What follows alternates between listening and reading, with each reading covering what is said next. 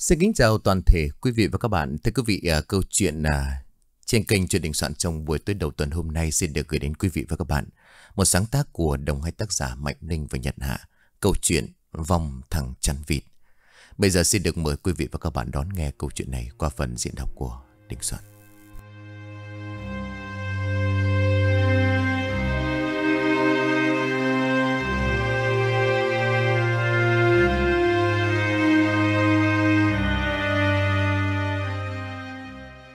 Bà là bà chửi ba đời cái thằng đàn ông ăn cắp gà. Bà hú hồn chín vía cái con đàn bà trộm gà nhà bà. Chứ mày trộm gà nhà bà thì đêm ăn hấp xương, Ngày ngủ ác mộng. Bà thì bà tốc váy tốc gan, Bà đốt van đốt vía. Bà đốt cả gan, Bà rạch tan cả ruột. Đàn ông thì bà đốt ngón tóc, Đàn bà thì bà lóc ngón tay. Khôn hồn thì trả ngay gà cho bà. Ngừng lại, một hơi để lấy sức, Bà bội tiếp tục tốc váy chửi rủa mà sắt tất cả bằng uất hận Bà được cái quân trộm gà nhà bà. Bà đứng đầu ngõ bà trỏ vào giường. Bà tế con mẹ thằng bố thằng con. Bà tế bên nội, bà tế bên ngoại Tam đại lương tề. Ba bể bốn bên. Bà đào tận gốc, bà chốc tận má. Bà truyền đời báo danh cho đứa nào ăn trộm gà nhà bà. Đứa nào trộm gà nhà bà thì ra đường trời đánh Về nhà thánh đâm. Đẻ con không câm thì cũng chẳng có lỗ nhị. Tiếng của bà bồi gầm lên đầm mỹ giữa trưa hè nắng cháy. Căn nhà ba gian tồi tàn được thừa hưởng từ đời ông cụ thân sinh. Tòa lặng ngay vị trí ngã ba. Cái cổng làng chỉ non chục thước. Vậy nên tiếng trời càng khiến cho cái làng Bến Hòa bị một phen náo động. Ngoài vắt chân ở quán nước đầu làng, lão khá trợn mắt rít bi thuốc lào rồi phả ra một tiếng. Đám răng cải mà vàng vọt ám khói dưới đôi môi cá chê khẽ nhướng lên. Lão nhíu mày rồi hỏi dò. À này các quan bác, Tôi hỏi khi không phải chứ, cái con đĩ bổi nó làm cái chó gì? Mà sáng bảnh mắt nó đã đào mạt tổ nhưng người ta lên mà chửi nhé Cũng à, cả hai canh giờ rồi chứ đùa gì. Bà hàng nước đang bòm bẻm nhai chầu. Nghe lão khá căn vặn thì bĩu môi. Bà nhổ tuyệt bãi nước chầu đỏ ối xuống nền đất, Hướng đôi mắt để nếp nhăn lên rồi ton hót. Gấm chứ ngày thường quan bác ca chả thính như chó xem tát ao. Thế mà nay nghe ngóng sao lại chậm chạp thế? Nhà mụ ấy có con gà giò, Mới ấp nở chưa được bao lâu thiệt bị cái đứa mất dậy là nó nẫng mất. Nghe đâu là cả con à, lẫn mẹ chín mạng. Xót của cho nên chửi từ sáng đến giờ đi quan bác cả. Lão khá vút dâu ổ lên rồi cảm thán. Nhà mụ ấy phạm phải cung lục xúc hay sao ấy cụ nhỉ? Gà qué gì mà hở ra lầm mất, Chả được cái miếng nào vào mồm. Thế hóa ra là toàn cúng quân trộm cướp. Một à đàn bà mặt rỗ ngồi chóp chép mớ bánh bèo. Nghe lão khá bình phẩm thì cũng cong môi lên để hóng hớt. Tiền sửa cái con quả cái, Có mua cái ổ gà với lại con gà mẹ, Mà cái chửi từ bảnh mắt ra đến bây giờ, Không cho anh ngủ ngáy gì cả. Tôi mà được à Tôi trả vả cho gãy mấy cái răng. Bà hàng nước thở dài ngao ngán, Thì cũng phải thông cảm cho mụ ta. Chăm bám mãi mới ra cái rổ gà. Tính ra thì bán cũng được cả hai ba quan tiền chứ ít gì. Thế mà cái thằng mất dậy là nó lại nỡ nẫng tay. Mụ ấy tức thì cũng phải. Phải tôi thì tôi cũng chửi ba đời nhà nó lên chứ chả đùa. Của đau con sót. Chửi phải mình thì nhà mình còn phải dừng dưng. Cứ thử mất mà xem, Có mà mày lại đào tứ đại đồng đường nhà cái thằng trộm lên Ở đó mà nói. Tiếng bàn tán cứ như vậy diễn ra dâm gian. Trong cái đám khách có mặt tại quán nước, Kẻ tỏ ra không thông cảm với đệ mụ bồi. Kẻ rẻ biểu ra mặt có kẻ lại ác khẩu còn mong quan binh đến gô cổ mụ đi, Cho hàng xóm được yên bình. Năm người mười miệng cứ như vậy, tính tranh luận vang lên dâm gian không ngớt. Nhưng mà tính ra thì việc mất gà lại làm cho không khí thêm sum tụ. Vì đám giành việc cũng có cái để bàn, Mà ngồi lê đôi mách Rồi từ chuyện mất gà mất chó mà nói chuyện thiên hạ, Cứ như vậy mà ở Mỹ cả lên. Cầm lúc đó tại một căn nhà tuổi tàn nằm nơi cuối làng Thằng Bèo lác đang nằm co ro dưới tấm chân mầm Thì bị tiếng đập cửa rầm rầm làm cho tỉnh giấc. Lồng cồm bò dậy, Bèo lác vươn vai ngáp dài một cái. Mẹ kiếp chứ, Làm cái gì mà đập cửa gấp gáp thế? Gọi đi ăn dỗ bu chúng mày đó hả? Cánh cửa ọp ẹp được mở ra, Bèo lắc nhận ra ngay gương mặt hầm hầm sát khí bên ngoài Của gã trí cốt. Đó là thằng trường con nhà bà Lôn. Mới thấy bộ dạng này Cơn buồn ngủ đang bùa vây cũng đã biến mất. Bèo lắc đoán có sự gì hệ trọng, Rồi vội vàng mở cánh cửa ọp ẹp đứng giặt qua một bên. Gã ngạc nhiên hỏi Ok bác Trường, Sao mấy sáng ra đã nổ khi sung thiên ra mặt vậy? Có sự gì? Thằng Trường hầm hầm bước vào bên trong, Hạ mông ngồi xuống cái ghế sườn cũ. Gã với tay lấy cái điếu cày, Véo một bi thuốc lào vào nó. Liếc nhìn thằng Chí Cốt bằng con mắt gián đoạn Thằng Trường bực dọc châm lửa, trợn mắt rít một hơi long sòng sọc. Nhả ra một làn khói trắng đục. Trường hầm hầm nhìn vào đồng bọn rồi chửi đầm. Mẹ kiếp chứ, ăn no ngủ kỹ nha. Nhất ra cái thân mày rồi đây Thấy thái độ của trường hôm nay lạ lắm. Bèo lắc cập dập ngồi xuống chiếc ghế gỗ đối diện. Cả đưa bàn tay thu giáp, Gãi đắm hắc lào bên nách, Rồi quẹt lên mỗi người theo thói quen. Bèo lắc vừa nhăn mặt vừa liếc nhìn thằng trường bằng vẻ giò xét. Thế làm sao? Làm sao mà sáng sớm bác đã cáu bản như thế? Em có làm tội tình gì Hay là có thất lễ gì với quan bác đâu? Đoạn như nhớ ra điều gì bèo lắc giật mình rồi hỏi. Hay là quan trên biết việc của mình?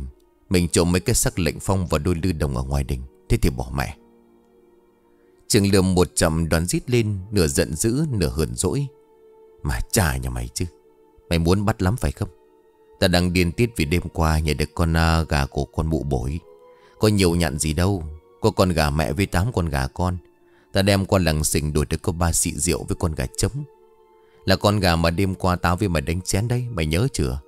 Thế mà bảnh mắt sáng nay Đang thiêu thiêu ngủ tới cái con khọm giá Lôi cả mổ tiên ba đời nhà tao ra mà chửi. Mày nghĩ có cay không?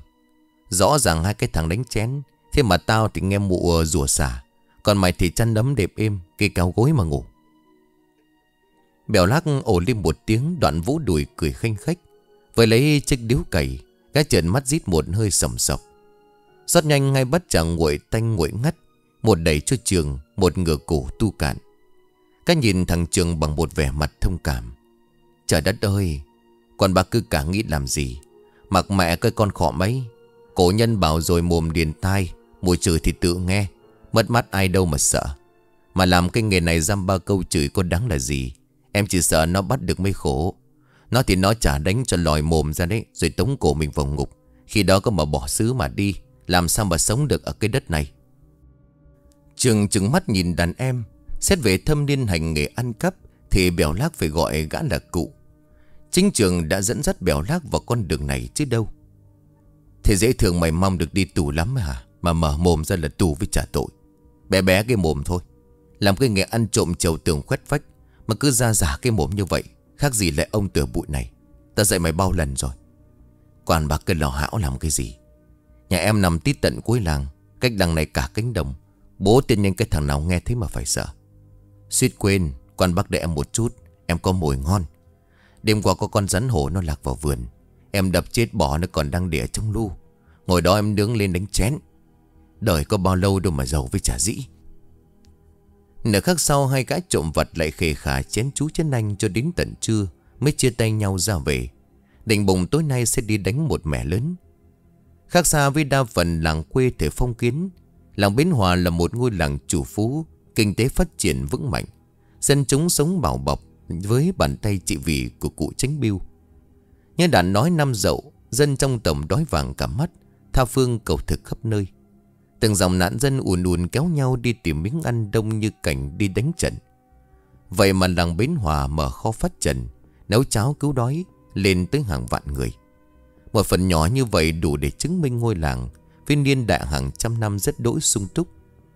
Người làng Bến Hòa tính cách hào sảng, Tối lửa tắt đèn có nhau. Vậy mà trong làng vẫn có một vài con sâu làm dầu nổi canh. Một trong số đó là Trường và thằng Bèo Lác. Bèo Lác mồ côi thầy mẹ từ nhỏ Sống nương tựa vào người cô ruột quá chậm. Đến năm hai chục tuổi thì bơ vơ không còn ai thân thích. Trong khi đó Trường là con độc đinh của nhà ông bà Lôn, Một gia đình được xếp vào dạng không mấy khá giả. Giả ông Lôn còn sống, Đời sống cũng chẳng đến mức cơ cực. Sau cái lần đi làm đồng gặp cơn mưa lớn trú vào gốc cây đa, Ông bị xét đánh đến cháy đen, Chết không kịp ngáp. Năm đó trường mới tròn 8 tuổi. Ông Lôn chết rồi để lại người vợ quanh năm bệnh tật và đứa con thơ Sống trong cảnh ấy trường rất nhanh trở thành kẻ bất hảo Và thói tắt mắt ăn cắp cũng từ đó hình thành Vì chẳng ai quản thúc. Bà Lôn đã trăm ngàn lần dạy bảo con Đòn rơi có, nhức móc có, ngọt nhạt cũng có. Thế nhưng hình như tính cách ngỗ ngược đã ăn sâu vào máu thịt của trường. Ngoài nhị tuần thì xuất thân thấp kém Trong khi đám trai đinh trong làng xoay sở đủ nghề Cố gắng chèo chống gia đình đi lên Thì trường hình như thích làm ngược lại. Là một kẻ chây ý tinh ăn mù làm, Tối ngày người ta thấy gã tụ tập ăn chơi. Khi thì tam cúc đỏ đen, Lúc lại thấy ngồi như là chó xem tắt ao, Ở mấy cái sòng gà.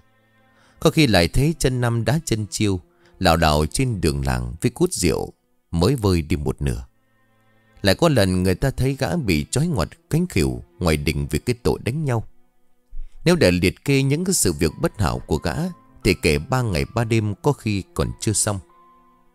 Thân là mẹ, bà luôn rất đỗi buồn lòng, Trong khi bản thân của bà là người đàn bà biết trước biết sau, Làm gì cũng không để hàng xóm vật lòng. Thậm chí ngay cả chồng bà dạo còn tại thế. Chăm làm bao nhiêu Thì thằng con trời đánh thánh đâm này Lại biếng nhắc bấy nhiêu. Mặt quát tai rơi môi mỏng như là môi chó thiến, dáng đi cổng cổng bần hèn hít mức. Vậy mà trường còn học đòi cái thói sĩ diện. Nhà nghèo đến mức tiền thuốc chữa bệnh phải cất từng thang. Thế mà có lần người ta thấy gã mua hẳn cho thị đào. Người con gái mà gã theo đuổi, Hẳn một khoen tai vàng cám.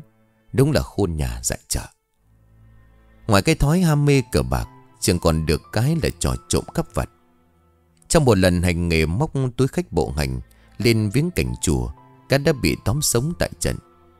Quan trên đánh cho một trận thừa sống thiếu chết. Sau đó tống ra một năm, Tính ra cả mới ra tù độ mùa thu năm trước. Nhưng tưởng sau những tháng ăn cơm tù, Uống nước khám Trường sẽ trí thú làm lại cuộc đời, Thế nhưng không. Sau một năm ngồi tù, Trường trở về làng, Vẫn cái bản tính thắt mắt, Đầu trộm đuôi cướp, Là mang danh ở tù cho nên gã chẳng kinh rẻ ai. Cái chửi làng chửi xóm, Gặp ai cũng chửi Đã vậy trong lúc đã vậy lúc ở trong tù, Trường còn học được cái ngón người đạo trích. Chỉ cần nhà nào sơ hở là hắn trộm. Cái trộm từ con gà, con chó Đến đấu thóc. Nhà ai hở ra không canh Thì gã cũng nẫng đi mất. Tứ thư ngũ kinh chư sử Thì rút đặc cắn mai. Thế mà tài cắn mở khóa thì giỏi không ai bằng. Hay nhà nào trong làng sơ sẩy không canh chừng Thì chỉ nửa khắc. Dù khóa có khó cỡ nào, Các cũng chỉ cần búng tay. Trộm được tiền rồi gã lại lao vào bài bạc Và chẳng mấy chốc lại mất. Hết tiền rồi gã lại chặn đường một người nào đó, Hầm hè xin đều vài xu để mua rượu. Cá say triển miên, Say là chửi. Nhưng dân làng Bến Hòa chẳng ai thèm dây vào một thằng tù cú bất cú bơ. Người ta vẫn bảo với nhau, Ở làng Bến Hòa ngoài đám lắm của thừa tiền, Thì cái loại thứ hai họ không dám dây. Đó chính là thằng trưởng con nhà bà Lôn.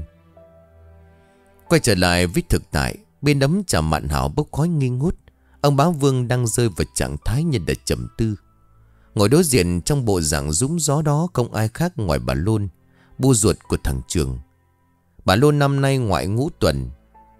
Mặt mày ốm đói, Da rẻ xanh bụng vì ốm bệnh lâu năm. Thân thể tàn tạ như là Minh chứng cho những khó khăn thường nhật. Ngồi bên cạnh chồng Thấy ông bá lặng người một lúc rất lâu, Bà bá vương bấy giờ hắng giọng rồi bảo. Thầy em mà. Bác Lôn bác ấy cũng đã sang tận đây nói khó với mình. Tôi thì nghĩ à, cho nên là cháu cho nó một cơ hội. Biết đâu à, sau này khi vào làm, Nó lại chẳng thấy tính đổi nết. Huống hồ gì đã bác trai lúc sinh thời. Bà bá bỏ giờ câu nói rồi liếc nhìn bà luôn Bằng một ánh mắt thương cảm. Ông bá vẫn chậm ngâm trong dòng suy tư. Sinh thời ông bá và ông Lôn là bạn tâm giao từ lúc nối khố. Lớn lên dù gia cảnh của ông Lôn có phần xa sút nhưng mà tình cảm hai gia đình cũng xem là bền chặt. Thậm chí là gia đình của ông bá còn mang ơn của ông Đôn, Vì chính con trai của ông bá đã được ông Đôn vớt lên khi sắp đuối nước. Ơn nghe đấy, ông bá làm sao có thể quên? Này bà luôn sang tận cửa cạnh nhà, Nếu không răng tay giúp đỡ, Thì khác nào là kẻ nhỏ mọn. Buông một tiếng thở mạnh, Ông bá vương bấy giờ trả lời. Thìm đã có lời thì chúng em xin vâng. Vậy ngày mai thím bảo cái thằng trưởng nó qua đây. Vợ chồng em có đàn vịt hơn ngàn con Đang nuôi ở một trang trại giáp danh làng Nguyễn. Thằng nô nhà em thì nó mới xin về làng chăm bu nó bị bệnh. Vừa vặn thầy đang chống cái vị trí đó. Nếu mà cháu nó không có ngại Thì có thể ra đó để làm. Việc cũng nhàn nhã thôi. Ngày cho chúng nó ăn rồi à, con trứng về. Ở đó sẵn tròi canh Cơm nước thì cũng có người đem ra tận nơi. Một tháng à, xin trả ba quan tiền công Chẳng hay ý của thím thế nào. Bà luôn cầm cầm chắp tay với ông bá như là tế sao. À độ ơn ông bà đã thương cảnh mẹ quá con côi. Ông bà cho cháu nó làm Người hầu kẻ hại trong nhà là phước phần riêng của cháu nó Và còn là cả của tôi. Ngoài việc à, nó có thể phụ giúp tôi đồng ra đồng vào Quan trọng nhất là nó chẳng có thời gian để phá làng phá xóm. Thôi thì tôi xin phép cáo lui Về à, báo cho cháu nó mừng. Nói rồi bà luôn cấp nón đi ngay. Nhìn cái dáng tàn tạ đi siêu vẹo dưới nắng, Ông bà bá thầm cảm thấy xót xa. Đứng ngầu bên cạnh con sen mau mồm trên ngang. Bẩm ông bà Còn nói cái này khi không phải xin ông bà đừng trách tội. Cả cái làng này á, ai mà không biết cái thằng trường là loại tinh ăn mù làm. Ông bà rước nó vào coi chừng là nuôi ong tê áo, nuôi cáo trong nhà đấy. Bà bá cao mày nhìn con sen rồi bảo Việc này chúng ta tự sắp xếp. Cây thói ở đâu mà chủ chưa hỏi, Mà đã lên tiếng vậy? Để đổ thóc ra phơi đi. Xong thì băm bèo cho lợn, Nói lèo thì không ai bằng. Con sen đi rồi, ông bá chép một ngụm trà đắng chát, Ngoái sang nhìn vợ ông chép miệng rồi bảo, Con sen nó nói đúng đấy. Đó cũng là lý do mà tôi đắn đo nãy giờ. Bà bá đồng tình, Tôi cũng hiểu những gì mà thầy em phân vân, Nhưng mà thầy em mà Bác luôn bác ấy từng cứu con mình, Là người ơn của gia đình mình. Này, bác ấy đã ra người thiên cổ. Còn lại mình, bác gái với thằng Trường, Bác ấy đã tới tận cửa nhà và Thì chẳng lẽ mình lại ngoảnh mặt làm ngơ? Thì hóa ra là mình là kẻ bội bạc. Sách bình thư có câu là không tin thì không dùng, Đã dùng thì phải tin. Mình cứ cho nó một công việc đàng hoàng, Biết đâu nó lại chi thú làm ăn thì sao? Ông bá ậm bự ở trong họng Quay trở lại căn nhà tồi tàn của mẹ con Trường. Chờ đợi từ trưa cho đến xế chiều Mới thích con trai vác mặt về nhà. Ngó thấy cái dáng liêu siêu, Bà luôn cảm thấy rất đau buồn. Chờ cho Trường vào hẳn trong nhà, Bà luôn buông tiếng rồi bảo, Nhà anh Trường này, Ngồi lại đây bu bảo. Rồi là kẻ nổi tiếng, là kẻ ngang tàng phá phách, Nhưng mà xét ra Trường vẫn là một đứa con biết thương thầy bu. Thầy bu của mình bày ra một nét mặt hệ trọng hơn mọi lần. Gã nhấp một ngụm nước trà mới rót rồi khề khà bảo Bu bảo tôi cái gì? À Bu biết nhà anh sinh ra vốn đã thiệt thòi hơn người khác. Thầy anh mất sớm Bu thì bệnh quanh năm. Bầu viêu vào mấy thức ruộng cạn. Tiền thuốc thang còn chẳng đủ, Thì biết ngày nào mới ngẩng đầu lên với đời. Bu biết là anh tuổi phận từ bé. Bằng tuổi anh đám bạn bè trong làng ấy chúng nó đã có của ăn của để đầy đủ. Lắm đêm mà nằm nghĩ phận bu Phận anh cứ lòng đong mãi. Chẳng biết bao giờ mới có cơ hội thay đổi cuộc đời. Bu thật tình là chả biết tính sao. Trường im lặng nhìn ra màn trời đang ngả bóng xế tà Đám vàng đã bắt đầu gọi bầy chuẩn bị cho cuộc săn đêm. Tiếng chuông chùa gióng giả đem theo âm điệu buồn buồn, Báo hiệu một ngày dài sắp hết. Nhìn lại căn nhà tồi tàn đang đờ mờ trong khói nhang. Nhìn lại bản thân của mình, Chợt chợt cảm thấy nôn nao trong ruột. Bản tính vốn là một kẻ ngang tàng hống ngách, tinh ngăn mù làm Nhưng hàng ngày nghe bà luôn thủ thỉ. Lâu dần cũng xuôi tai. Nhìn mấy người bạn đồng trang lứa chăm chỉ làm ăn, Có kẻ lên xe xuống ngựa, Nhà rộng cửa cao, Ăn ngon mặc đẹp. Trong khi bản thân tàn tạ chẳng khác gì khất dân, Cả ngày chỉ mưu tính trộm cắp. Chứng kiến sự thật hiện ra, Trường càng đắn đo cân nhắc hơn Chuyện bu mình đang bảo. Nghèo thì cái gì nó cũng thua thiệt nhà anh Trường ạ, Hãy nhớ điều ấy.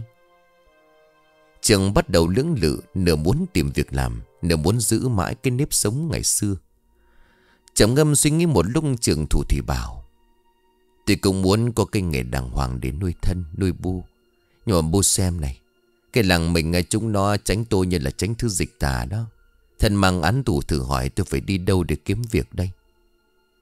Thế con trai đất xuôi xuôi Bà luôn mừng rơi cả nước mắt Ngồi sát lại con bà nói bằng một nét mặt hớn hở. Việc ấy thì nhà anh đừng có lo. Bùa đã xin ông bá vương cho nhà anh sang đó làm chân canh vịt. Nhà ông bá có một đàn vịt hơn ngàn con, Đang nuôi ở trong trại giáp danh của làng Nguyễn. Ông bá bảo nhà anh cứ ra đó mà làm. Này nha, Xét ra thì việc cũng nhàn. Ngày cho vịt ăn rồi gom trứng, Ở đó có sẵn tròi canh. Cơm nước có người đem ra tận nơi, Và một tháng ông bá sẽ trả ba quan tiền công. Chẳng hay ý của nhà anh thế nào? Trường nắm chặt hai bàn tay như hạ quyết tâm. Gã muốn thoát khỏi vũng tối cuộc đời, Muốn đi lên bằng sức lao động của bản thân, Chứ chẳng muốn mãi mang danh là một thằng bất hảo. Vậy là ngay tối hôm đó, Trường đã theo bu của mình sang nhà ông bá để làm công. Kể đến nơi làm việc của trường Thì phải nói nó nằm ở một địa thế biệt lập. Con đường nhỏ dẫn vào trong trang trại, Nằm ở phía tây, Chính là lối đi độc đạo duy nhất Để người nhà ông bá có thể đi ra đó. Đường được đắp cao vút dưới cánh đồng Cho nên dân trong làng thường gọi là con đê. Trang trại vịt của gia đình ông bá có ba mặt cách sông. Đường thì nhỏ cho nên hệt như một ốc đảo biệt lập với thế giới bên ngoài. Và ở nơi đây trường chính là bá chủ. Thời gian đầu trường tỏ ra rất cẩn mẫn. Sáng ra thì gã cho vịt ăn, Thu gom mấy rổ trứng sể, Rồi đem vào trong tròi Và định kỳ ba ngày một lần. Ông bá sẽ cho hai gã gia nô gom trứng mang về. Thế trường chi thú làm ăn, Ông bá cũng cảm thấy mừng. Ngày ngày ông đều say đứa hầu gái tên Diễm Đem cơm canh ra tròi Lại dặn thêm đem thêm thịt cá Để gã có sức mà thức canh đêm. Nhưng mà ngày vui ngắn chẳng tẩy gang, Cho đến buổi chiều ngày hôm ấy, Thời gian đổ về đầu giờ dậu, Gió vẫn lùa qua hàng cây xào xạc, Mang hơi lạnh của đêm Đang mon men tìm tới. Sau khi ăn xong bữa cơm, Con Diễm đem từ nhà Chờ cho nó thu dọn ra về, Trường lật đật tiến ra bên ngoài. Hà mình nằm vắt vẻo trên cái võng kê Ở ngoài cửa tròi canh. Trường khoan khoái hít một hơi Rồi với lấy cái điếu cày, Véo thêm một mũi nhét vào nó điếu. Chợt gã thấy xa xa có bóng của một kẻ Với tướng đi chấm vẩy đang tiến lại. Thuận nhìn qua trường đã nhận ra ngay trí cốt của mình, Gã nhớn người rồi kêu to. Bèo lắc đấy phải không? Vào đây ngủ hút điếu thuốc. Bèo lắc mặc phong phanh một chiếc áo tối màu Để lộ ra bộ ngực rắn chắc. Trên ngực còn xăm một chữ nôm bằng mực tàu. Hắn xài những bước tập tĩnh rất nhanh Trên bờ đất gập ghềnh. Chỉ một lát đã hạ mình ngồi xuống bên cạnh trường. Thế vẻ mặt dầu dĩ của trí cốt trường tò mò gợi chuyện. Thế đồ này ra sao mà ta nom nhà mày xuống giữ vậy? Mẹ kiếp này đói dỗi mồm. Đi ăn xương mà một thân một mình nên chẳng làm ăn được cái gì cả. Đêm qua còn bị đám ma là Nguyễn nó phục.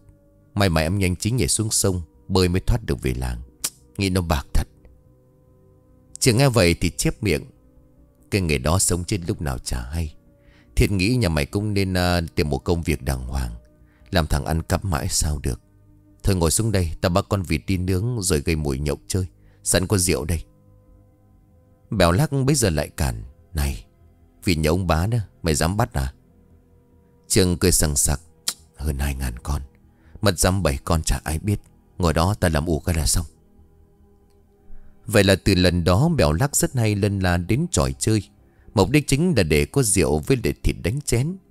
Trường thì cứ vin vào cái lý do kia.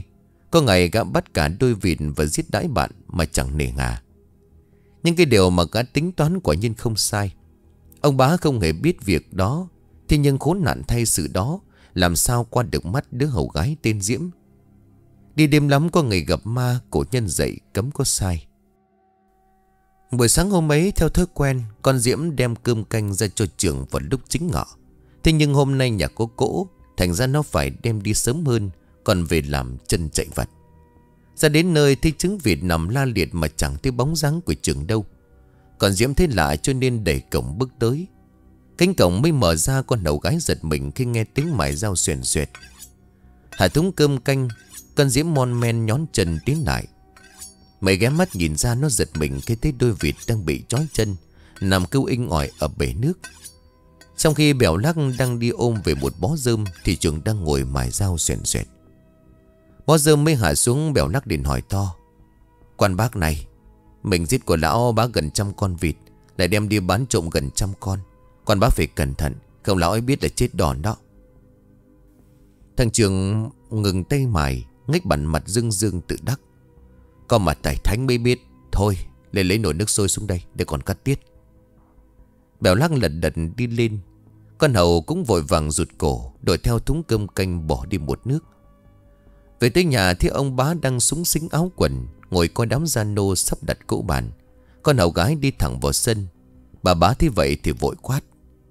Nhà mày đi ăn cắp hay sao mà thoát cái đeo về hả? Con Diễm tức tuổi đi thẳng lên nhà trên nó đặt cái thúng xuống rồi mách lèo toàn bộ sự tình. Mới nghe thủng câu chuyện ông bá vương hầm hầm sắc mặt, Ông liền rít lên qua kẽ răng. Cái thằng ôn con mày dám làm liều à? Đi, Mày gọi thằng Hợi rồi cùng tao ra đó bảo mặt một lời. Láo với tao là không được. Ta đã cho ăn, cho ở, cho công việc, Trả công sòng phẳng. Thế mà lại dám báo ngại tao. Nay thì ta tống cổ. Biết tính của chồng mình nóng như trường Phi, Bà bá bây giờ vội can. Ông à làm gì thì cũng nên dĩ hòa vi quý nha. Mình không có làm cứng, Thì nó còn coi mình ra cái gì không? Việc này bà cứ để tôi. Bà nhà lo sắp đặt cỗ bàn, Khách khứa sắp tới rồi đó. Nói rồi ông bá cùng thằng Hầu và thằng Gia Nô tin hợi đi ngay. Ra đến nơi thấy hai con vịt mới làm lông xong một con. Ông bá nổ khí sung thiên trỏ tay. Hay cho cái thằng điêu dân to gan này. Mày dám giết vịt ông ăn đó hả? Ông mà không bắt tận tay dây tận mặt thì mày còn chưa chừa có phải không? Bị bắt quả tăng tại trận trường tái xanh mặt mày, Gã lắp bắp không thành tiếng. Ông bá quắc mắt liệm rồi ra lệnh, Cút xéo ngay đi cho tao. Từ lúc mày làm công cho tao đến tận bây giờ, Chưa bao giờ tao đối xử bạc bẽo với mày. Thế mà tao đâu có ngờ mình nuôi ông tê áo dứt cáo vào nhà. Đây, Trên đầu một tháng nhưng tao trả đủ cho mày ba quan tiền, Cầm cả hai con vịt biến đi. Cấm chỉ mày bén mảng ra đây, Lần sau tao còn thấy tao đánh chết bỏ. Vừa nãy ông bá vừa ném sâu tiền xuống, Trường vào bèo nín lặng cầm tiền, Cầm vịt lùi thủi bỏ đi. Ông bá quay sang rồi dục, Còn Diễm Mày về mày kể lại với bà luôn. Bảo là ông không thuê nó nữa Còn thằng Hợi. Từ nay trở đi ông giao việc này cho mày, Cứ như vậy mà làm. Ba chủ tớ sắp đặt công việc xong Thì mạnh ai nấy làm, Đem theo tâm trạng bực dập trở về. Ông bá chán nản đi một mạch, Trong lòng của ông đan xen cả cảm giác thất vọng. Một trăm con vịt, Thậm chí là cả đàn vịt này Ông bá chẳng để vào mắt. Thứ mà ông đang thấy giận nhất Đó là lòng tin bị phản bội. Về phần của bà Lôn, Sau khi được con bé Diễm thuật lại hết sự việc nhục nhã của con trai, Lại nghe ý của ông bà đã quyết, Bà mối mặt sang tạ tội cùng hai vợ chồng. Nhưng mà dù bà có nói thế nào, Ông bá nhất định đuổi thẳng cổ thằng Trường. Sau cùng bà đành lùi thủi đội nón bỏ về. Sau khi nhận được suốt tiền công, Trường vào bèo lắc không về nhà Mà bỏ đi đâu không rõ. Có tiền trong tay dĩ nhiên hay kẻ tinh ăn mù làm này Phải tìm chỗ để hưởng thụ. Việc bỏ nhà đi năm ba ngày với gã chẳng khác gì cơm bữa. Thành ra là bà luôn cũng sớm quen. Bà chỉ biết ngồi được mặt ở cửa Có lòng tan nát Với đôi mắt đượm buồn nhìn ra bầu trời âm u. Băng đi bốn ngày sau, Sáng nay cũng như mọi lần Đúng giờ mão, nhằm 5 giờ sáng, Ông bá lại bắt đầu chạy vòng vòng ra bến sông làng. Đồ nọ ông bá đổ bệnh to, Thầy làng đến trần mạch và khuyên ông phải vận động nhiều hơn. Có như vậy mới bệnh tình suy giảm. Vậy nên bất kể là thu đông xuân hạ, Cứ tầm giờ này là ông bá rời nhà. Kể ra lời khuyên của ông thầy lang rất hay. Việc chạy bộ buổi sáng giúp ông khỏe hơn, Tinh thần sảng khoái hơn. Lâu dần ông bá cũng coi đó là nếp sinh hoạt khó bỏ. Quãng thời gian này mới vào giữa mùa thu Nhưng mà tinh mơ thì rét căm căm. Sương mù răng trắng xóa. Thế nhưng đã quen với cái lạnh sáng sớm. Và lại cũng thích không khí yên tĩnh vắng vẻ Và trong lành bên bến sông mỗi sáng. Thành ra ông bá cũng không nể hà gì. Trên đường chạy đôi khi ông bá cũng cầm đôi ba người Quẩy thúng đi chợ sớm. Như thường lệ cứ chạy đến gần gốc đa mọc sát bên sông Là đã thấm mệt. Ông bá bắt đầu đi chậm lại. Bữa nay đi được một đoạn ông bá bỗng nhiên nghe thấy tiếng khóc âm mỉ ở đâu đó. Càng lại gần gốc cây đa thì tiếng khóc lại càng rõ. Thanh âm lúc này nghe vô cùng kỳ lạ. Suốt ruột thì ông già bước tới nhanh. Đến gần gốc cây ông bá giật mình khi thấy mình như Có một bóng người gầy gò đang ngồi co ro trong tư thế bó gối. Toàn thân mặc đồ tối màu và ướt sũng như đã mới té sông. Tiếng khóc cũng chính từ đây nó là hình như bởi trời sáng nay dương sang trắng. Gần bến sông không khí cũng khá là âm u. Đứng gần nhau vài thước cũng chẳng thấy rõ mặt. Ông bá khẳng định rõ đó là một người đàn ông, Vì dáng người và mái tóc cắt lượm chởm ngắn cũn. Lấy làm lạ, sáng sớm mà lại ai lộn cổ xuống sông, Rồi lại ngồi đêm mà khóc. Chẳng lẽ kẻ đó không hề biết lạnh hay sao? Như ông bá đã mặc hai lớp áo, Vận động mạnh một lúc mà vẫn còn run lên cầm cập. Sinh nghi ông bá hắng giọng rồi lên tiếng. Này, Cái đứa nào bảnh mắt đã ra đây ngồi khóc vậy? Đáp lại ông bá vẫn chỉ là những tiếng khóc ồ ồ, Thi thoảng lại nấc lên từng hồi nghe vô cùng đáng thương. Nhà mày có phải người làng này không? Bảnh mắt ra sao không có về nhà lại ngồi đây khóc hả? Bị cướp đồ hay lạc đường? Bóng người kia vẫn không hề trả lời, Chỉ có tiếng khóc văng vẳng âm vang Và tiếng gió vụn vụt đáp lại. Thế là lắm mông bá đánh bảo tiến lại gần hơn. Gần như ngay lập tức ông chỉ có thể ú ớ một tiếng trước khi bất tỉnh.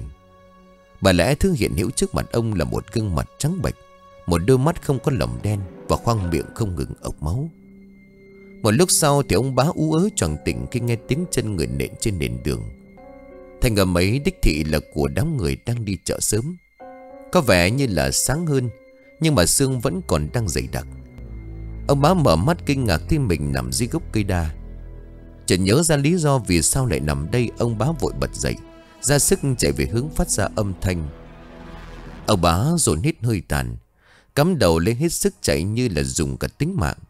Ngay cả một lần nhìn quanh cũng không dám.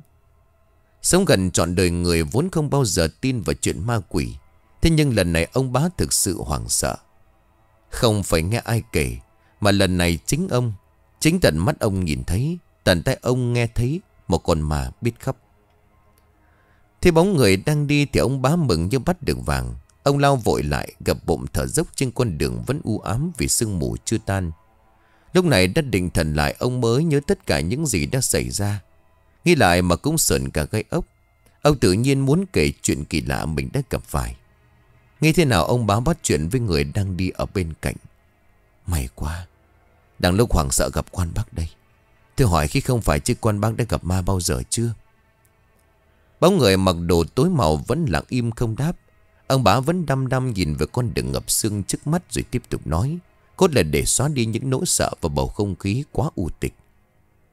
Trước giờ tôi không tin mấy cái chuyện ma quỷ. Thế nhưng mà tôi đã tận mắt chứng kiến nó ở gốc cây đa. Lúc đầu thì tôi nghe thấy tiếng khóc cho nên lại gần. Rồi quan bác biết tôi nhìn thấy gì không? Nếu là quan bác hẳn sẽ trợ xếp khiếp. Đó là một con ma chít trôi Da nó trắng như là bôi phấn sáp. Tôi tưởng là vỡ tim chết tại trận, May quá mà gặp quan bác ở đây. Bất chợt một giọng nói nhẹ như là gió lạnh, Toát qua tai của ông bá. Thứ âm thanh này văng vẳng, chẳng khác gì tiếng khóc bàn nãy. Còn không biết mà vớt tao lên. Theo phần xạ, ông bá ngoái đầu sang, Sau lưng của ông đúng bản mặt ấy, Đôi mắt ấy. Tiếng gạo thi thảm của ông bá một lần nữa đánh động hết dân làng. Người ta ùn ùn kéo nhau tới, Vây quanh ông bá chật kín. Mọi biện pháp như cạo gió ấn nguyệt nhân trung đều được đưa ra. Ú ớ một hồi, ông bá mới tỉnh lại. Theo lời kể của ông, đám Mấy chai đinh tiến lại gần gốc cây đa để xem. Quanh gốc cây đa chẳng thấy gì, Thế nhưng ở đám bụi ngập nước gần đó, Đám người chợt thấy một sự lạ. Từ hướng bụi dầm ấy một thứ mùi thối khắm như là sắc chuột chết bốc lên. Quánh đúc bập bùng dọi tới, Người ta thấy có rất nhiều ruồi bay vo ve ở bên trên. Sinh nghi đám người lúc này lội nước tiến lại gần Và ngay lập tức tá hỏa tam tinh, Khi nhận ra có một xác chết sắt vào. Cái xác mặc bộ đồ tối màu, Sau đầu có một vết thương rất lớn Và chết trong tư thế nằm sấp.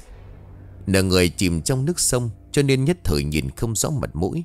Chỉ áng chừng sắc ấy rong ròng Thân người gầy gò và tóc tai cụt ngùn Thật nhìn qua đám người có mặt lúc đó là mở đoán đây là xác của đàn ông, Hơn nữa lại còn khá trẻ Dân làng bu vào chỗ ấy vây quanh Người ta không biết tại sao cái xác này lại ở đây Nghe người làng báo cáo của tránh trường làng cùng đám cai lệ và tuần đinh cũng đã nhanh chóng xuất hiện. Bà còn tránh ra, để tôi vào tôi xem xét. Cậu tránh thiết to vừa đi vừa đưa tay bịt mũi vì mùi thối khắm làm cho cụ tởm lợm. Mới nghe thấy giọng của cụ đám dân làng lập tức chuyển sang bu lích cụ rồi kể. Dạ bẩm cụ, sáng nay con đưa trâu ra đồng sớm. Đi qua đấy thấy cái mùi thối quá Còn lại tưởng con gì chết trong bụi rậm Hóa ra là xác người. Một người đàn bà mặt dỗ cũng chen vào kể lể. Nhìn cái dáng người này Thì khéo là người làng khác chứ chả phải làng mình đâu. Khéo lại chui ở thượng nguồn với đế cụ. Tất cả im đi. Tránh ra để tôi coi. Mới ngó vào thấy cái xác dập dành nằm đó Của tránh đã nôn khan. Mắt mũi rằn rụa Cô lệnh cho đám tuần đinh trăng dây bảo vệ hiện trường, trong khi lệnh cho cai lệ phi ngựa đi báo quan. Được một canh giờ sau, quan án cùng với lính dõng đã tới. Lúc đó người ta mới biết xác chết này không ai khác ngoài thằng Trường. Quan án kết luận thằng này bị người ta dùng vật nặng đập vỡ sọ, Sau đó thì ném xuống sông và đến nay xác mới tấp vào. Sau một hồi điều tra quan án cho gọi ông bá Vương Và thằng Bèo lắc ra ngoài đình, Ông bà bá đem theo những việc trước đó thuật lại rành rọt Và được quan thả về. Riêng thằng Bèo lắc thì ấp úng quanh co Sinh nghi quan bần khảo cung thật kỹ Và sau một hồi Bèo lắc cũng khai ra toàn bộ vụ án. Từ cái hôm bị ông bá đuổi cổ ra khỏi tròi, Vừa mất việc sẵn lại chán đời, Hai thằng bảo nhau đem vịt về nhà Bèo để làm mồi uống rượu. Trong cơn say Bèo lắc gợi ý Để lấy ba quan tiền đi đánh bạc, Nào ngờ thằng Trường Hùng hồ bảo Mẹ tiên sư mày, Tiền này tao cực khổ mới kiếm được. Công chỉ vì cái bản mặt của mày khiến tao ra đông nỗi này. Bây giờ còn tư hào đến tiền của tao đó phải không? Trong lúc hơi rượu sục lên, Bèo lắc mất bình tĩnh Sau đó xô sát diễn ra. Đến khi tỉnh lại, hắn mới nhận ra trường đã chết tại trận. Bên cạnh có có một hòn gạc chính máu. Thời gian xảy ra án mạng là lúc trời sầm tối. Căn nhà của bèo lắc nằm ở mé sông. Thường ngày vốn chẳng mấy ai qua lại, Thế nhưng gần đắc vụ ấy nấy Lẽ chẳng may có ai đó đi qua đây giờ này. Thế cảnh hắn bừa đầu thằng trường bằng hòn gạch thì nguy to. Dù ít học nhưng đạo lý đó hắn hiểu rất rõ. Nghi đoạn bèo lắc vội cài nhanh cánh cầm. Hắn giật lấy tấm bồng có phần rách nát Đang ngả màu vàng ố. Đoạn bê cái xác đẫm máu đặt vào và quấn lại. Máu từ vết thương nhễu ra thấm đẫm ướt màn vải bốc lên một mùi thanh lượm rộng Mất hơn nửa khắc, Hắn mới chuyển được cái xác lên chiếc ghe nhỏ Neo sâu nhà Về trèo ra giữa dòng. Còn hai cục đá vào chân của xác chết, Bèo lúc bấy giờ lạnh lùng đẩy xuống dòng sông. Thế nhưng điều làm cho hắn không ngờ Đó là bốn ngày sau, Cái xác nổi lên trước sự hỏi cung tra khảo Hắn đành nhận tội. Cùng vợ trở về nhà, Ông báo vương mặt mày không giấu nổi nỗi sợ. Làm vợ ông đang ngót ba chục năm nay Không có để bà bá nhận ra những thay đổi trên nét mặt của chồng. Giật giật tay áo bà bá buồn rầu rồi hỏi Ông làm sao mà cứ như người mất hồn vậy? Hay là ông có ốm đau gì trong người không? Ông bá mặt mày tái xanh quay sang vợ Bà theo tôi về nhà đi Tôi phải à, kể cho bà cái việc này. Theo chân của chồng về nhà Hạ mình ngồi xuống sập Bà tránh xua tay cho đứa hầu gái ra ngoài. Nhập nhành một ngụm trà bình tâm, Ông bá quay sang. Bà này, Bà nó có nhớ đúng cái chiều hôm qua tôi ra tròi canh vịt không? Bà bá nhíu mày rồi vội đáp. Nhớ chứ sao không? Đêm đó đám gia nô thì theo tôi đi áp giải tiền vàng lên huyện cho thằng cả nhà mình. Còn mình ông ra tròi chưa đâu, Mà sao vậy? Ông làm tôi lo thế. Ông bá run cầm cập, Cầm cốc trà trong tay mà không vững kín đông vội bỏ xuống. Đêm Đêm đó tôi gặp nó đấy bà. Bà bá bây giờ ngơ ngác Thằng Hợi hả? Chả phải đêm đó cái thằng Hợi cũng xin uh, Về làng dỗ buôn nó còn gì. Ông này nói cái chuyện gì lạ thế? Không phải là thằng Hợi. Ô ngay Không phải thằng Hợi thì gặp ai nó nào? Là thằng Trường. Ông bảo cái gì? Thằng Trường? Chả phải thằng Bèo nó khai nó giết cách đây 4 ngày Sao lại có sự quái đản thế? Ông bá nắm tay của vợ chặn hơn Hai hàm răng ông đập vào nhau lách cách, Như đi ngoài trời. Sau một lúc bình tâm, Ông mới đăm chiều kể lại sự việc đêm ấy Chiều hôm ấy thì đợi cho vợ và Gia Nô đóng ngựa đi. Ông bá khóa kỹ cửa nèo rồi rào bước đi. Sau khi ra tròi vịt Và cho thằng Hợi mấy quan tiền để về nhà rũ bu, Ông bá dọn dẹp sư qua căn tròi, Kiểm tra lại cổng cửa sau đó ra ngoài hiên, Hạ mình nằm xuống võng. Gió đêm mát rượi rượi, Cơn buồn ngủ rất nhanh ập đến làm trông bá thiêu thiêu. Nói là thiêu thiêu vì lúc đó ông bá vẫn còn mấy phần tỉnh táo. Đang trong lúc nửa tỉnh nửa mê Trẻ đông bá giật mình Thiếu điều suýt lộn cổ xuống đất, Vì cái võng bị ai đó giật mạnh bằng một lực lớn. Lồng cổ ngồi dậy ông bá định lên tiếng giày la, Vì đoán đứa gia nô nào đó ra đây và đùa giải Thế nhưng ngay lập tức ông bá nhớ ra Sano của mình đã đi áp tài hàng. Làm gì còn đứa nào ở đây? Thế kỳ lạ ông bá giáo giác nhìn chung quanh nhưng không thấy ai. Tưởng mình mơ màng tưởng tượng, Ông bá miễn cưỡng ngậm cục tức, Miệng cũng lầm bà lầm bầm, Sau đó ngả người xuống nằm ngủ tiếp. Thế nhưng vừa nhắm mắt lại chưa đầy 10 nhịp thở, Thì lần thứ hai cái võng lại bị giật mạnh. Lần này cô giật mạnh gấp đôi lần trước, Khiến hai cái cột mắc võng rung lên. Ông bá tay mặt vùng dậy Ông bá châm vội bó đuốc, Chống ba toan đi một vòng quanh tròi để kiểm tra. Thế nhưng mà vẫn chỉ có ông ở đây. Ngó nhìn cái võng nằm im mắng không động cửa, Đột nhiên ông cảm thấy sợn gai ấp. Dạo còn nhỏ, ông bá thường được bà nội kể cho nghe những câu chuyện gặp ma. Nào là người trong làng đi chợ sớm bị ma dụ nhổ tóc, Có kẻ thì bị kéo vào nghĩa địa ngủ suốt một đêm, Lại có kẻ bị ma kéo chân xuống sông. Hằng hà xa số những chuyện tâm linh đó chẳng mảy may, Làm trông bá run sợ vì bản thân ông rất cứng bóng vía. Cái thời còn cư cầm bà bá, Ông đã một thân một mình đi bộ trong đêm, Thậm chí còn đi tắt qua đường nghĩa địa để đỡ tốn công. Thế mà nào có thấy ma quỷ gì đâu. Vậy mà đêm nay trong lòng ông cứ dấy lên một cỗ cảm giác rợn rợn. Còn đang trầm tư suy tính chuyện vừa rồi Thì đột nhiên ông bá bị tiếng vịt kêu thu hút. Dõi mắt nhìn ra xa, Ông bá thấy đàn vịt đang chạy tán loạn. Đoán chừng trộm đi vào ăn cắp, Ông bá thủ theo con dao ở trong tròi Nắm chắc bó đuốc và lao vội ra. Cái trộm vịt đồ tầm năm trường ông bá giỏi đuốc tới. Quánh trăng đêm, ông giật mình khi thấy một bóng người đứng quay lưng lại phía ông. Hai tay đang cầm hai con vịt, Ông bá cả giận rồi thét. Chả cha, cái phường bất lương, Cái ngữ tinh ăn mù làm, Mày tính trộm vịt không phải không? Khôn hồn thằng ấy vịt ra. Ông chém chết bỏ bây giờ. Nghe tiếng thét bóng người chậm chậm quay lại. Lúc đó ông bá mới nhận ra đó là thằng Trường. Thằng Trường da rẻ xanh xao như người mắc bệnh kinh niên, Toàn thân ướt sũng, Vì trong miệng còn cắn cổ một con vịt khác.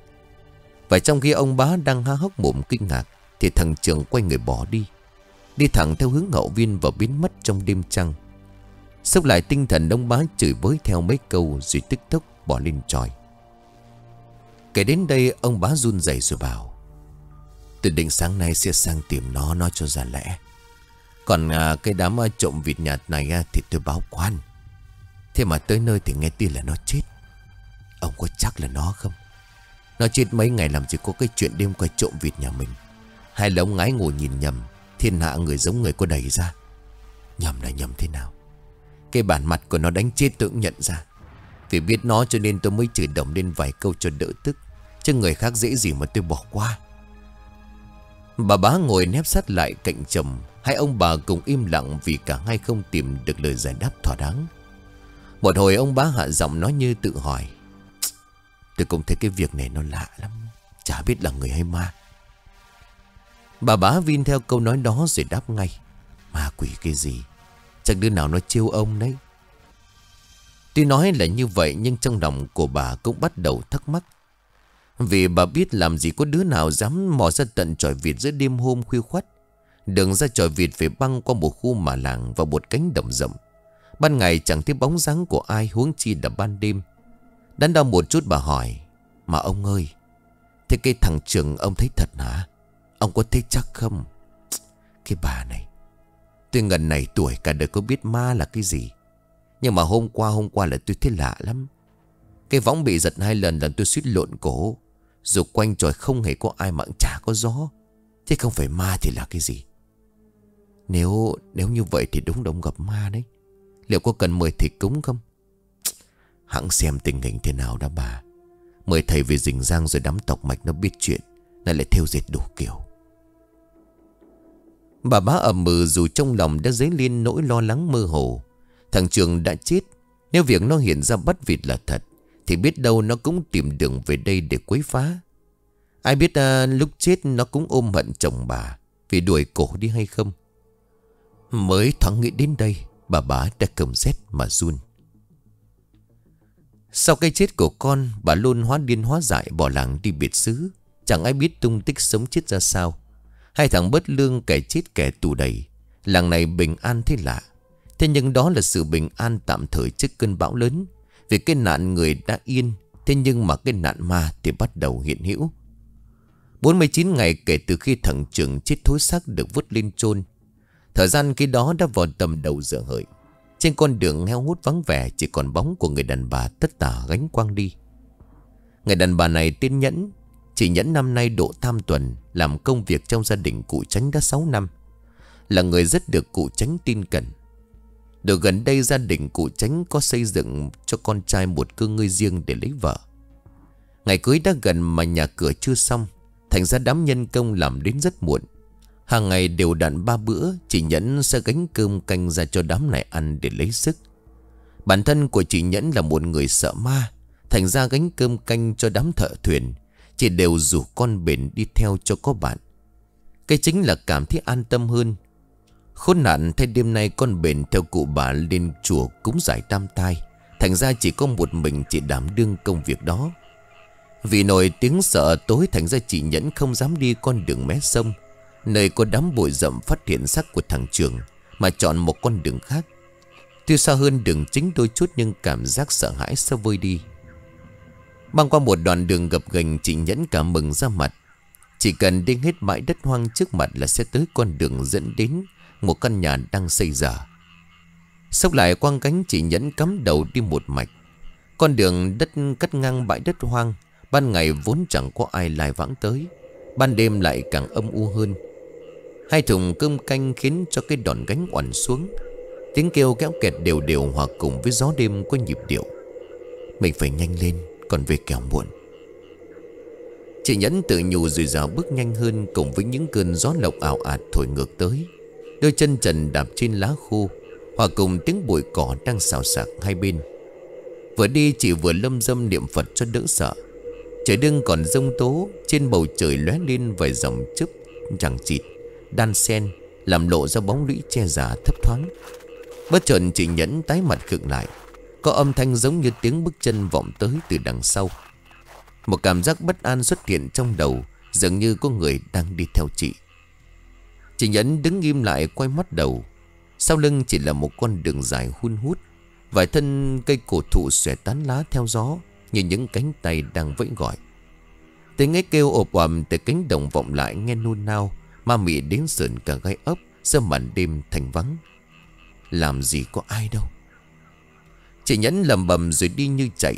Dòng tố đã bắt đầu vơi đi, Thế nhưng sừng trắng ở đâu nghiện ra tứ bề. Không khí cũng vì vậy mà trở nên lạnh lẽo và u ám. Đi được một đoạn, chị nhẫn thấy đầu óc của mình quay cuồng chóng váng.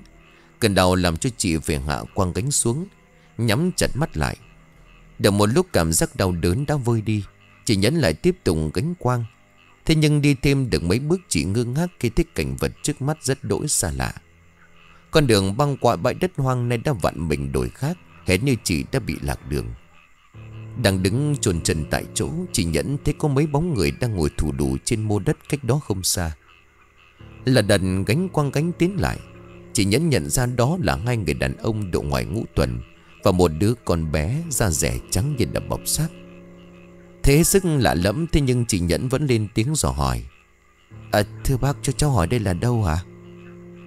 Một người đàn ông với đôi môi trắng bợt khẽ hỏi. Đi đâu đấy? À cháu đem cơm canh cho đám thợ cụ tránh. Cháu đang đi tìm đường đến à, đến thôn thượng à? ạ Ngài thấy cơm canh, cả bóng người kia đồng loạt ngồi xổm dậy. Trong làn sưng trắng như một màn bùa vây, Chị Nhẫn có thể cảm nhận Ba cặp mắt đang nhìn đăm đăm vào mình. Vẻ mặt của cả ba đều ánh lên một nét thèm thuồng cực độ. Cho tao miếng cơm, Cho tao miếng canh, Tao chỉ đường cho. Đứa bé ở trần ở chuồng Cất tiếng khàn khàn như cổ họng mắc một cục đờm. Để sau đó thì nó lồm cồm bò bằng cả tứ chi đến bên thùng canh. Đúng lúc đó có một tiếng âm vang sau lưng vọng tới. Chị ấy là người làng tao, Mày đừng có dọa chị ấy tội nghiệp. Ngày sau tiếng nói đó, Đứa bé biến mất như một làn khói mỏng. Hai người đàn ông kia cũng thoát ẩn Sau một cách trước mắt. Không nghe thì thôi, Nghe rồi thì tưởng rằng mình chết ngay tại trận. Bởi lẽ chị Nhẫn đã nhận ra ngay đó là tiếng của thằng Trường. Khiếp đảm quay người lại, chị Nhẫn kinh hãi rú lên. Đến ngay sau chị, cách chị đúng một sải tay không ai khác, Đó là thằng Trường. Da rẻ xanh ngắt toàn thân gầy gò, Máu từ vết thương ập ra thấm đẫm với cần cổ. Với khoang miệng hoác ra để lộ ra một nụ cười vô hồn. Đám thợ thuyền nhà cụ tránh đợi mãi không thích cơm canh, Cho nên lại mò về. Lúc ngang qua gốc đa Mấy người tá hỏa khi thấy chị Nhẫn nằm ngất xỉu ở đó. Hai thùng cơm canh cũng đã đổ chăn hỏa ra đất. Việc chị Nhẫn bị ma nhát còn chưa lắng xuống, Thì mấy ngày sau làng này lại rộ lên một tin đồn rằng vong hồn của trường hiện ra để nhát người. Và người gặp ma lần này là ông Khảm. Ông Khảm là một người nghiện rượu nặng. Hết đám tiệc đám dỗ nào, Chẳng cần mời ông cũng tới. Ông Khảm say ngày say đêm nhưng mà khác với đám nát rượu trong làng tất là ông rất chăm chỉ làm việc, Rồi có say đến mấy cũng lết được chân về nhà, Chứ chẳng ngủ bờ ngủ bụi bao giờ. Cũng chẳng bao giờ thấy ông nặng nhẹ với vợ con Hay là bày trò phá làng phá xóm. Vậy nên mặc dù là kẻ nghiện ngập, Nhưng ông Khảm cũng chẳng bất lòng ai. Hôm ấy đang ngồi đan cái sọt tre ở ngoài sân, Thì ông à, tính đánh tiếng sang ăn đám rỗ của bà cụ thân sinh. Ông Khảm cảm mừng các lại công việc thanh nhanh bộ quần áo dài, cánh the. Vậy là từ sầm tối cho đến gần nửa đêm vẫn không thấy ông quay về. Thế nóng ruột vợ con ông vội vàng kéo nhau đi tìm. Thế nhưng sang đến nhà ông tính Thì nghe ông bảo là ông Khảm đã về nhà từ cách đây hai canh giờ. Sợ chồng của mình say rượu trúng gió, Chẳng may lộn cổ xuống ao, Bà Khảm hoảng hốt đánh tiếng nhờ bà con đi tìm. Vậy là trong thoáng chốc Hàng chục người đàn ông đã trong đuốc đi tìm. Đã mấy chia ra làm hai, Tìm từ đầu đến cuối làng, Nhưng ông Khảm vẫn bật vô âm tín. Sau cùng, tin ông Khảm mất tích đồn ra nhanh lắm. Dân trong làng kéo tới hỏi thăm ngày càng đông. Một bà lão động viên bà Khảm. Nhà mày cứ bình tĩnh, Biết đâu ông ấy ai chơi nhà người quen, Mới hai canh giờ làm gì mà sốt sáng thế. Bà Khảm ngồi chết lặng ở hàng hiên rồi sụt sùi. Không, cô ơi Nhà cháu có bao giờ ngủ nhà người khác đâu. Sai đến mấy cũng lết về nhà. Mười mấy năm nay đều như vậy, cháu chỉ lo phủi phui cái mồm quả, Đừng có nói gỡ. Để ta bảo chúng nó đi tìm lần nữa. Nếu còn không có thấy thì báo ở cụ tránh cho Tuần Đinh đi tìm. Thế nhưng đúng lúc ấy, thằng Thuật, Một thằng bé lên năm theo bà của mình sang xem náo động, nó vội lên tiếng. Bà Khảm ơi, Tôi nãy con à, ra hè đi đái, Con theo ông Khảm đi uống rượu ven trường rồi. Lời nói bi bô của thằng bé làm cho đám người khiếp đảm nhìn nhau. Một đông trung tuần vợ hỏi, Con bảo cái gì? Ông Khảm đi uống rượu với anh Trường. Anh Trường nào? Làng này có tới ba trường lẫn à? Anh Trường nhà bà Lôn. Con thấy anh ấy dắt tay ông Khảm đi. Anh ấy còn nhìn con cười cơ mà. Không còn nghi ngờ gì nữa 9 phần 10 là vong hồn của thằng chăn Việt hiện ra dụ dỗ ông Khảm. Ngay lập tức cả đám lao ra chỗ gốc cây đa. Nơi phát hiện xác của thằng Trường ở đó. Và quả thần khi vạch đám cây, Người ta thấy ông Khảm đang ngồi làm nhảm ở đó một mình, Tay không ngừng vụt nước sông vào trong miệng. Quá hoảng sợ, Đám người vội vàng bế ông Khảm lên chạy về nhà. Về tới nơi vì hơi rượu ở bữa cũ nhà ông tính chưa bay hết, Trong lúc nửa tỉnh nửa mê, Ông Khảm vẫn chưa hề nhận ra việc mình bị ma dắt Ông đã đẫn nhìn khắp lượt rồi làm nhảm hỏi. Ô, hay sao lại đông người thế nhở? À thằng trưởng đâu? À nó bảo đi mua rượu cơ mà. Mũi cắn sưng cả chân tao rồi. Đám người lúc này mới thực sự tin là việc thằng Thuật thế ma Vậy thì chắc chắn vong hồn của nó còn làng vàng trong làng chứ chưa siêu thoát. Sau khi mà ông cảm được người ta xoa dầu vào kích nôn, Một lúc sau ông ú ớ tỉnh dậy. Nghe người làng thuật lại toàn bộ sự việc, Ông Khảm mới hoảng hốt nhớ ra. Ông kể sau khi rời đám rỗ với cái đầu ong ong ngấm rượu, Ông lảo đảo trên đường trở về. Về đến gần cổng thì thấy thằng Trường đứng đực ở đó, Nó rủ ông đi uống rượu đêm. Vì đầu óc không còn tỉnh táo nên ông khảm gật đầu Mà quên bẵng việc nó đã chết. Đám người làng dùng mình nhìn nhau, Sau cùng tàn mắt kéo nhau ra về. Đám ấy đi thành từng tốp chứ chẳng đi một mình vì còn đang sợ.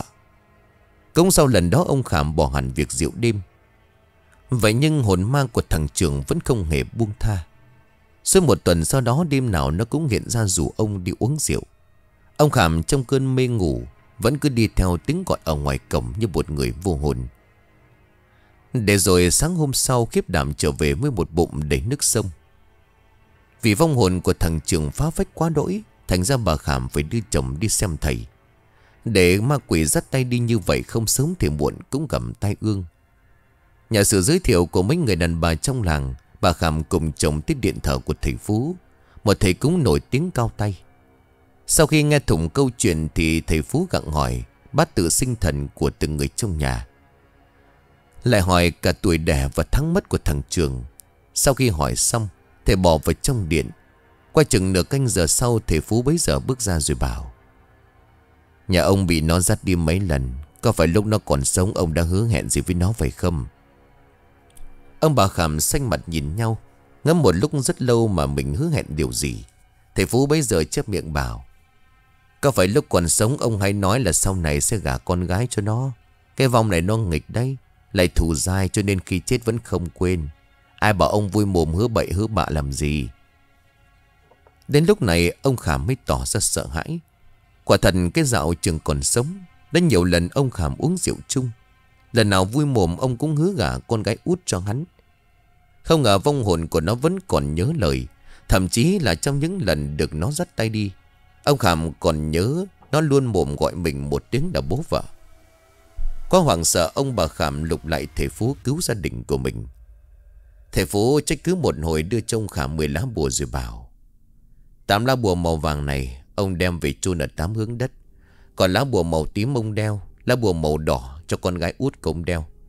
Trong vòng 7 ngày hai cha con phải lên chùa nương tựa cửa Phật. Một bước không rời chùa Sau đó tất vong sẽ quên lời hứa năm xưa. Ông bà Khảm tạ lễ thầy xong rồi về nhà hành sự y như đã dặn. Nhưng mà vong hồn của trường tiếp tục quấy quả. Và nơi nó tìm đến không phải là gia đình ông Khảm Mà là cái trại vịt công bá vương. Như đã kể, từ sau khi thằng Trường bị tống cổ vì cái thói trộm cắp, việc canh tròi vịt được giao lại cho thằng Gia Nô tiên hợi. Thằng Hợi năm nay chạc tuổi của Trường, làm công cho gia đình ông bá đã 5 năm và tỏ ra là một người mẫn cán. Việc giao cho nó canh vịt là ông bá rất yên tâm. Thế nhưng mà ngày vui ngắn chẳng tẩy gang. Sau cái ngày mà thằng Hợi gặp ma, nó nặng nặc bỏ chạy vịt, không dám ở lại thêm. Ngược dòng thời gian trở về hơn 2 tháng trước, sau khi làm xong đám dỗ cho bu Hời nán lại nhà độ 3 ngày Sau đó lại sang nhà ông bá Để đảm nhận chân canh chạy vịt. Sau khi biết thằng Trường đã chết, Lại nghe đám lắm chuyện kháo bậy bạ, Rằng đêm đêm đám đi xoay ếch Ở khoảng ruộng gần đó, Thường nghe thấy tiếng khăn khóc từ chạy vịt phát ra. Mặc cho câu chuyện được thêm thắt rất nhiều, Mặc cho đám thối mồm kháo nhau, Rằng thằng Trường hóa quỷ, Thằng Hời vẫn chẳng mảy may kinh sợ. Đêm đến vẫn ở lại canh vịt như thường. Cho đến đêm đó Đó là một đêm âm u mưa phùn lâm thâm. Sau khi ăn xong bữa cơm do con Diễm đem tới, Nó liền thủ một chai rượu đế Kêu sáng ngọn đèn cầy hạ mình nằm vào trong ngủ. Suốt hai tháng này chẳng thấy có ma quỷ nào hiện hình, Cho nên thằng Hợi cũng đắc chí. Mọi việc yên ổn cho đến khi mà thời gian trôi về đúng nửa đêm, Không gian tĩnh mịch bao trùm, Tuyệt không có một ngọn gió nào thổi qua. Mưa cũng đang ngừng rơi, Thế nhưng lâu lâu vẫn chớp nhòi chói lóa. Sau khi nốc cạn chai rượu đế Từ nửa canh giờ trước, Lúc này hợi đã díu cả mắt lại. Tiếng gáy đã cất lên đều đều chứng tỏ cả đang ngủ say. Đang trong lúc ngủ vùi thì chợt hợi ú ớ cực mắt, Vì nghe âm thanh rội vào tai Như là tiếng nước nhỏ giọt xuống nền nhà. Hợi cao có lồm cồm bỏ dậy Vì tiếng nước không còn rơi nữa. Nhìn ra cửa sổ không thấy có dấu hiệu của mưa. Hơi lầm bầm trong miệng điều gì đó rồi nằm xuống ngủ tiếp. Thế nhưng lạ là cứ hễ nhắm mắt là âm thanh như nước rơi lại vang lên đều đặn, Kèm theo đó một mùi gì đó ngai ngái. Hắn bắt đầu cảm thấy rợn rợn, Một cơn gió lạnh thổi qua làm cho gã lạnh cả sống lưng. Bên ngoài chuồng tiếng vịt kêu làm hợi bị thu hút. Từng trộm cắp mò vào, hợi thủ theo cây côn, Lao ra kiểm tra, xong chẳng thấy gì. Quay trở lại tròi hợi với lấy chai rượu đế để uống một ngụm. Thế nhưng chợt nhận ra chai rượu đã hết từ bao giờ. Hợi bỏ cây gậy mệt mỏi hạ mình nằm xuống. Vừa mới nhắm đôi mắt cây xè, hợi vừa há miệng ngáp dài vì giấc ngủ chưa đã. Bất chợt thình lình có một thứ gì đó chạy thẳng vào trong họng của gã, Đem theo một mùi thối khắm cực kỳ tởm lợm. Hợi vùng dậy khạc đờm nôn khan, Gần như ngay lập tức hợi chết cứng tại trận. Quánh đèn dầu leo lắt chiếu sáng Hợi thấy rõ trên bãi nôn có một đám máu tươi Và mấy con giỏi đang ngoe ngoẩy. Hợi ú ớ ngẩng đầu lên, Bên trên nắp tròi thằng trưởng đang ngồi thủ lù ở đó. Nó vươn cái cẩn cổ xuống Cưng mặt trắng bạch nhìn hợi đăm đăm. Và thứ mới rơi vào trong họng của hợi không khác gì ngoài đám máu Đang không ngừng chảy xuống từ đầu thằng trường. Cổ họng của thằng trường giật giật, Một giọng nói âm vang cất lên, Sau đó là đám run không ngừng đùn ra từ khoang miệng. Sao vậy? Mày không sợ tao à? Tao đây, Trường chăn vịt đây Sau đêm đó thì thằng Hợi bỏ ngay việc chăn vịt sống chết không làm. Ông bá cũng cảm thấy đau đầu.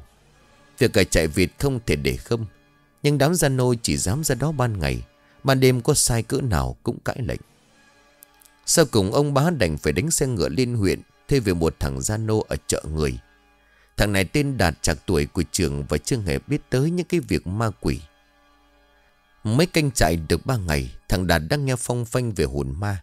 Thế nhưng vì không biết mặt của thằng trưởng, Lại cũng là kẻ to gan cho nên nó cậy thây Việc ở chạy vịt nhẹ nhàng Thêm việc ông bá cho cơm ba bữa Tiền công năm quan Đi đâu mới kiếm được cái mức hậu đãi như thế?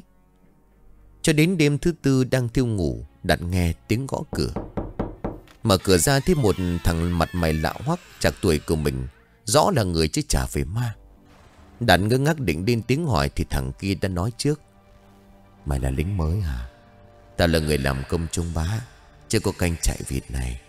Đêm nay rảnh quá cho nên ra đây chơi. Có gì ăn không? Cho tao ăn với.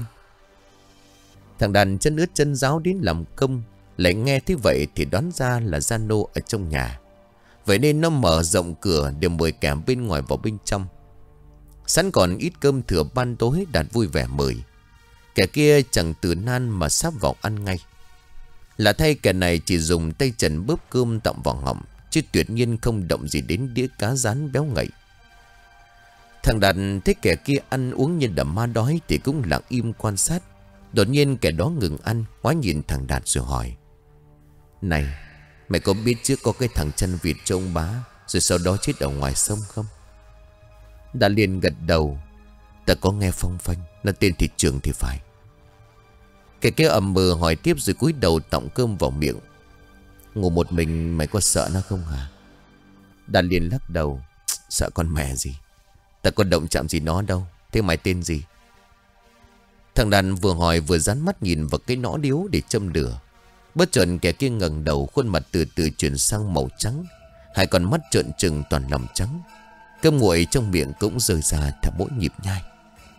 Tao là Trường Trường chăn vịt đây.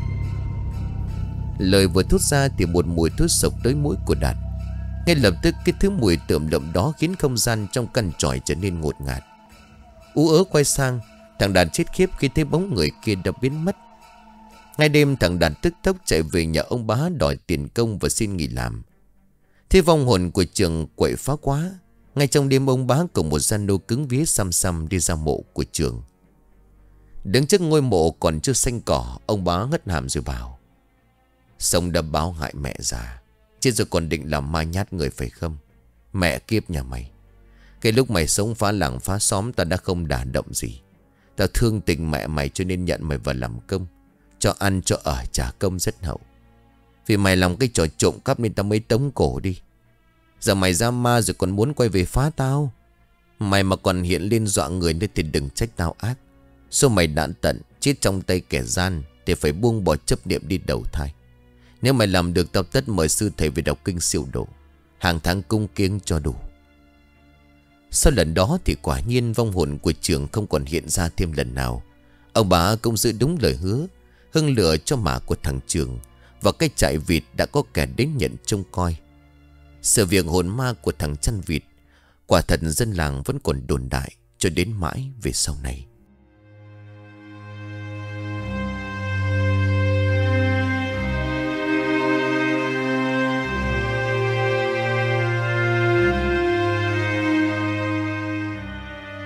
Xin cảm ơn quý khán thính giả đã chú ý đón nghe Xin kính chào, tạm biệt quý vị và xin hẹn gặp lại quý vị và các bạn trong những câu chuyện tiếp theo.